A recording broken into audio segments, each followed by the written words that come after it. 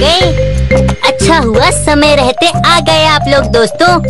क्योंकि आज की कहानी में जो आप देखेंगे, वो आपने ना सुना होगा, ना देखा होगा दोस्तों। इतनी विचित्र कहानी है आज की। नहीं समझे? तो चलिए, देखिए ये कहानी। क्योंकि देखोगे तो जानोगे, और जानोगे तभी तो समझोगे ना। हम्म। महामंत्री जी शुक्र है हमारे अन्न भंडार भरे हुए हैं वरना इस सूखे में हमारी जनता का क्या हाल होता? महाराज सहायता कीजिए। रतन नगर के प्रधानमंत्री सोमदत्त आप? कहिए कैसे आना हुआ? महाराज हमें आपकी सहायता चाहिए। हमारे राज्य में भयंकर सूखा पड़ा है और हमारे अन्न भंडार भी खत्म हो गए हैं। लेकिन आपके राज्य में तो तीन तीन नदियाँ हैं।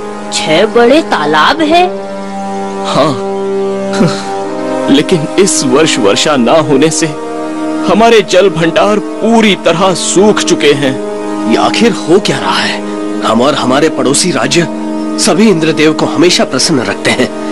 उनकी पूजा करते हैं फिर भी ऐसा प्रकोप क्यों? महाराज इसका उत्तर तो इंद्रदेव ही दे सकते हैं। तो ठीक है महामंत्री जी। आप सभी राज्यों के लिए अन्न भंडार खुलवा दीजिए। तब तक हम इंद्रदेव से ही इस पहली का उत्तर पूछ कर आते हैं।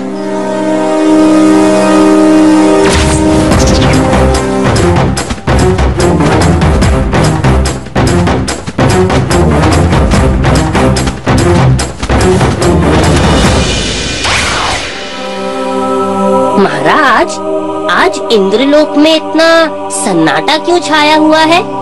अच्छा हुआ आप लोग आ गए। मैं आपके पास ही आने वाली थी महाराज विक्रम। अ, ऐसी क्या बात है देवी रंभा? दो महीने हो गए। इंद्रलोक से इंद्रदेव गायब हैं। क्या? इंद्रदेव इंद्रलोक से गायब है? लेकिन कहाँ?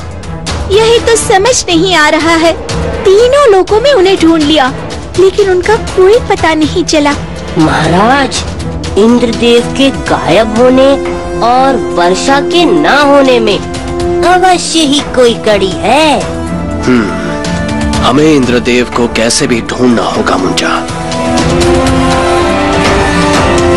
रे अंगूठी रे अंगूठी ये तो बताना कहाँ है इंद्रदेव और राज क्या है ये सब जरा हमको दिखाना।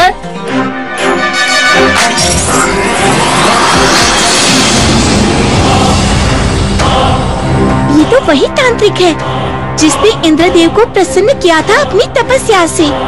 यानी ये तांत्रिक इंद्रदेव का साधक है और इंद्रदेव के गायब होने में अवश्य इसका ही हाथ है।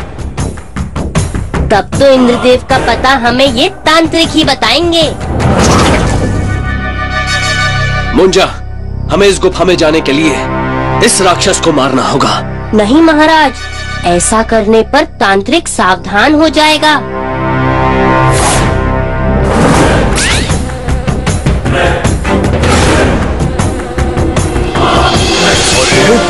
आप तो अंदर है फिर? अरे मूर्ख हम मायावी हैं। हम तुम्हारी परीक्षा ले रहे थे कि तुम ठीक से पहरेदारी करते हो या नहीं।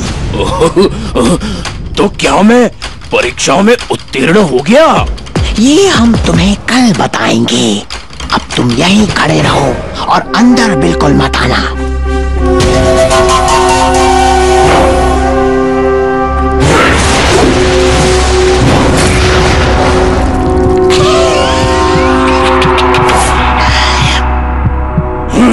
तुम्हें क्या लगा? मैं कोई मूर्ख हूँ जो तुम्हें नहीं पहचानूँगा, विक्रम? इसलिए ही मैंने ये राक्षस का स्वांग रचा था। अच्छा हुआ जो तूने ये लुका छिपी का खेल समाप्त कर दिया। अब जल्दी से बता दे कि कहाँ छिपा रखा है तूने इंद्रदेव को।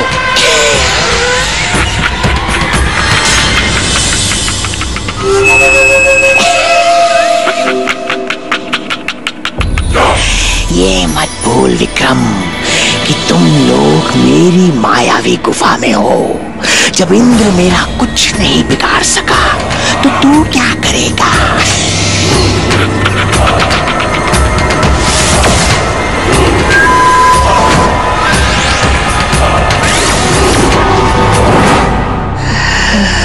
कर लो। जितना मन करे कर लो अपनी मायावी शक्तियों का प्रयोग। लेकिन याद रखो, मेरे सामने जब इंद्र की शक्ति नहीं चली तो तुम किस खेत की मूली हो? लगता है इसके पास कोई बहुत ही रहस्यमयी शक्ति है। हमें इसका पता लगाना ही होगा। चलो मुझा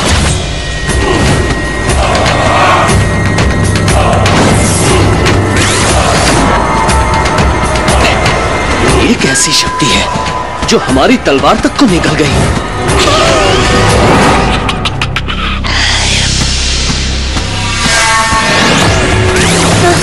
महाराज महाराज इसकी शक्ति मुझे अपनी ओर खींच रही है।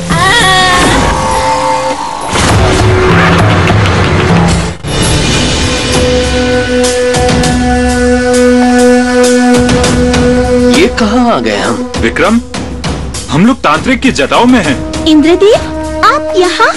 पर कैसे?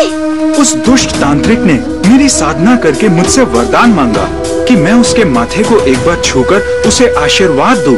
मैंने जैसे ही उसे छुआ उसने मुझे अपनी जटाओं में कैद कर लिया। लेकिन ये कैसे संभव है? उसके पास एक सिद्ध मंत्र है जिसके प्रभाव से वो किसी को भी अपने जटाओं में कैद कर सकता है। और अब वो आज रात हम सभी की शक्ति को अपनी जटाओं की शक्ति से मिलाकर एक ऐसा मंत्र उच्चारण करेगा जिससे वो अमर हो जाएगा। ये तो बहुत ही भयानक होगा। इसे रोकने का कोई तो उपाय होगा? इसका एक ही उपाय है। किसी तरह इस तांत्रिक को आज रात इस मंत्र को जपने से रोका जाए क्योंकि आज वो मुहूर्त है जो हज़ार वर्षों में सिर्फ़ एक बार आता है। मुंजा चलो, खेल शुरू करते हैं।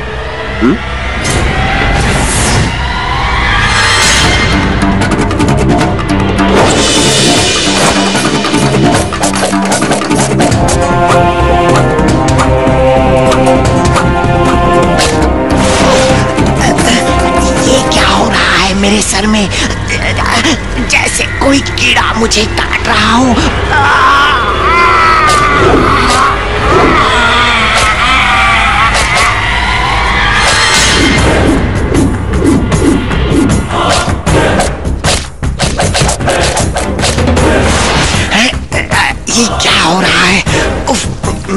ध्यान नहीं लगा पा रहा हूँ। ये कौन मेरा सर चबा रहा है? ये, अब क्या करूँ? इसे नहीं रोका तो मेरा सर फट जाएगा।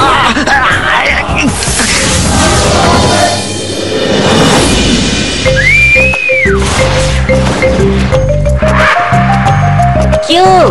आया ना मज़ा तांत्रिक महाराज। मज़ा तो मैं तुझे अब सिखाऊँगा।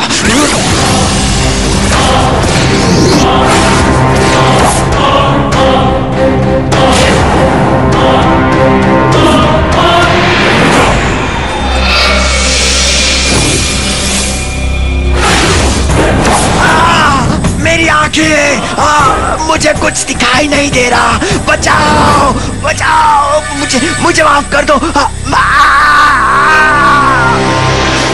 इस दुष्ट को इसके किए की सजा मिल गई। तुमने मेरी रक्षा की है। मैं तुम्हारा आभारी हूँ, विक्रम। ये मेरा कर्तव्य था, इंद्रदेव। अब आप भी पृथ्वीवासियों को इस सूखे से मुक्ति दिलाइए।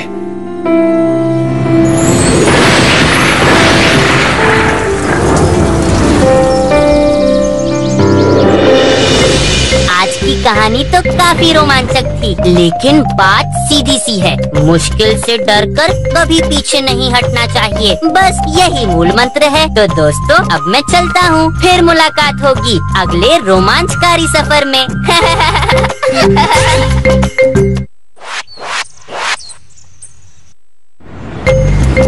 दोस्तों, हम कभी कभी अनजाने में ही किसी का बहुत बड़ा नुकसान कर देते हैं और फिर ये कहकर मुँह फेर लेते हैं कि हमने कौन सा जानबूझकर किया था। लेकिन असली समझदारी ये परखने में नहीं है कि किसकी गलती थी। असली समझदारी है उस नुकसान को ठीक करने में। नहीं समझे? तो चलो, देखते हैं। क्योंकि देखोगे तो जानोगे और जानोगे तो समझोगे ना। उसकी आवाज़ सुन लो तो अपनी आवाज़ गुल हो जाए। डर भी डर के भाग जाए। हम सब भी भाग जाते हैं। इससे पहले कि हो जाए बहुत देर। लेकिन वो है कौन? बब्बर शेर। महाराज अगर जल्दी ही उस आदमखोर शेर को भगाया नहीं गया तो हम सबको गाँव छोड़कर भागना होगा। किसी को गाँव छोड़कर जाने की ज़रूरत नहीं है। हम उस खुखार बब्बर शेर को पकड़ लेंगे। बस ये बता दो कि वो आखिरी बार कहाँ दिखा था? जंगल शुरू होने से पहले महाराज जो आखिरी खेत है उसी के पास हरिया ने उसकी परछाई देखी थी। दिन में तो शायद वो वही रहता है। लेकिन अंधेरा होने पर वो गाँव में भी घुस आता है महाराज। महाराज हम सबकी जान तो अब आपके ही हाथ में है। बिल्कुल भी चिंता न करें। ऐसे बब्बर शेरों को पकड़ना तो हमारे बाएँ हाथ का खेल है। कल सुबह हम उस शेर को भगा भगा कर मारेंगे।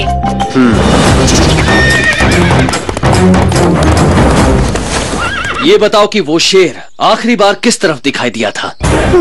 उस तरफ़ जो आखिरी खेत है वही।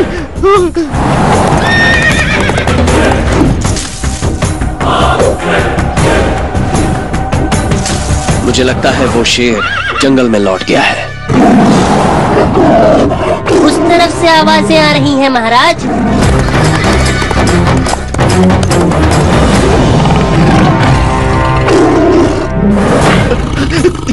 मुझे बचा लीजिए महाराज। मुझे बचा लीजिए।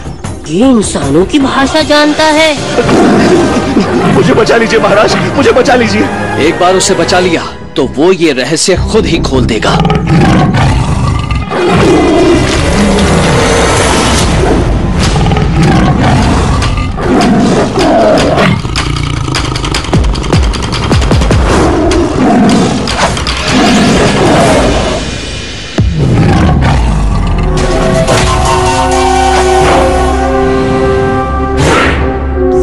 खड़े रहो। एक बार उस शेर को हम काबू में कर ले। फिर तुम्हें नीचे उतारेंगे और तुम्हारी कहानी भी सुनेंगे।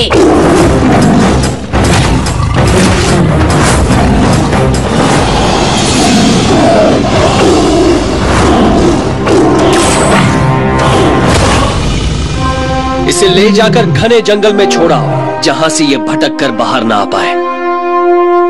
और वो हिरन कहाँ गया? अभी लाया महाराज। मैं हिरन नहीं हूँ महाराज।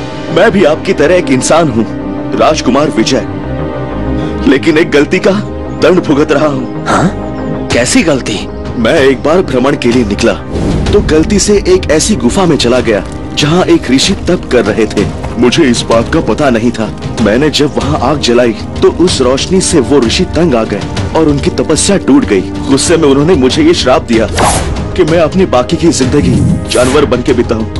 लेकिन इसका कोई उपाय तो होगा और फिर तुम्हारे घर वाले भी तो तुम्हारी राह देख रहे होंगे। उपाय तो केवल उन्हीं ऋषि के पास है वो ही इस श्राप को वापस ले सकते हैं। वो भी तब अगर कोई बत्तीस गुणों वाला राजा मेरा साथ दे लेकिन अब मैं भूल गया हूँ कि वो गुफा कहाँ है। मुझे सारी ज़िंदगी अब ऐसे ही रहना होगा। इस तरह हिम्मत मत हारो मैं तुम्हारी मदद करूँगा मैं तुम्हें इस श्राप से मुक्त करूँगा। हम्म तो कहानी असल में अब शुरू होगी। और तुम्हारा आधा काम तो हो भी गया। कैसे? बत्तीस गुणों वाला राजा तो स्वयं तुम्हारे सामने खड़ा है और रही बात उस गुफा को ढूँढने की तो वो भी हो जाएगा। परेशान है राजकुमार। बड़ी मुश्किल में है इसकी जान। जिस रास्ते पर मिलेगा उपाय उससे है ये अनजान। अब आप ही करो मार्गदर्शन ताकि महाराज बचा पाए एक और जीवन। इस जंगल के उस पार जहाँ है रोशनी लाचार, वही है ऊँची ऊँची चट्टाने जिसमें बनी है सैकड़ों गुफाएँ। उसी चोटी पर है उसका घर, वो इस हरन के सब दुख ले हर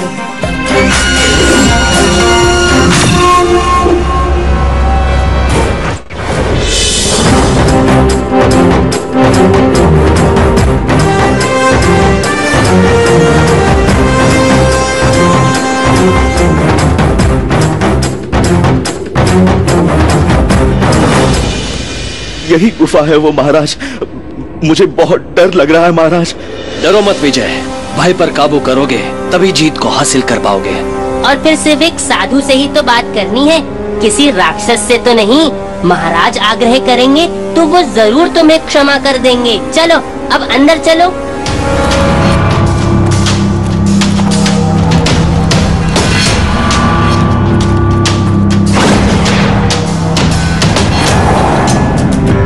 बच गए महाराज। वरना ये अभी हमारा कचुम्बर बना देता। मैं बात करके आता हूँ इससे क्या बात है विशाल मानव? हमारा रास्ता क्यों रोके रखा है? मैं किसी को अंदर जाने नहीं दूँगा। पर हमें मुनिवर से मिलना है। बहुत आवश्यक है। नहीं। पर सुनो तो।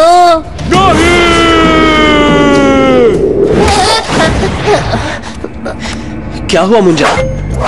बहुत ही जिद्दी और अड़ियल दानव है। कोई बात ही नहीं सुनता। बस नहीं नहीं की रट लगा रखी है। अब बल से इसे काबू कर पाना मुश्किल होगा। तो अब बुद्धि का इस्तेमाल करना होगा। हम्म, मुंजा तुम उसे उलझाए रखो।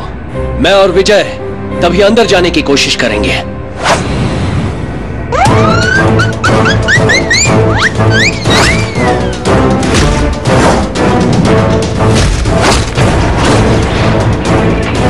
चाल तो गलत पड़ गई। कुछ और सोचना पड़ेगा। मुंजा यहाँ इस तरह से तो अंदर जा पाना मुश्किल है। एक काम करो मुंजा तुम किसी तरह से इसे गुफा के अंदर ले जाओ। बाकी मैं संभाल लूँगा। जाओ।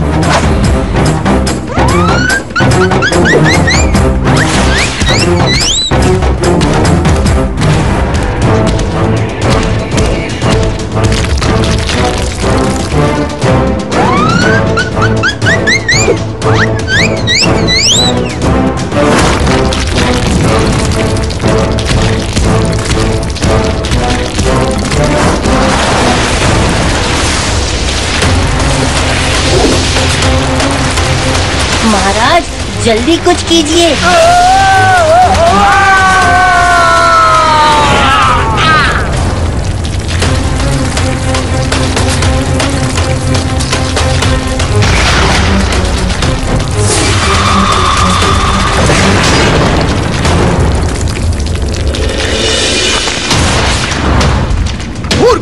तुझे इसलिए रखा था कि कोई अंदर ना आ सके। इसलिए नहीं कि तू खुद ही मेरी तपस्या भंग कर दे।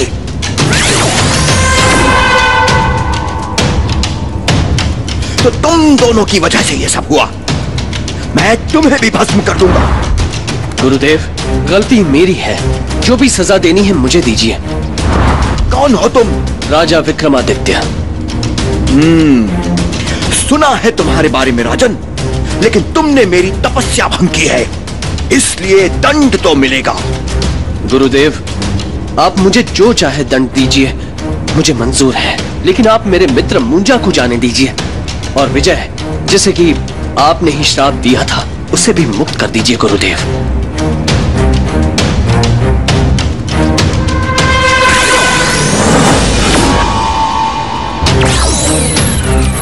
मुनिवर इस श्राप को वापस ले लीजिए। गलती मेरी थी। आप मुझे श्राप दीजिए। मुनिवर मैं हूँ राजकुमार विजय जिसे आपने श्राप देकर हिरन बना दिया था। ये दोनों निर्दोष हैं क्योंकि क्योंकि ये तो केवल मेरी मदद करने के लिए यहाँ आए थे। आप कृपया अपना श्राप वापस ले लीजिए।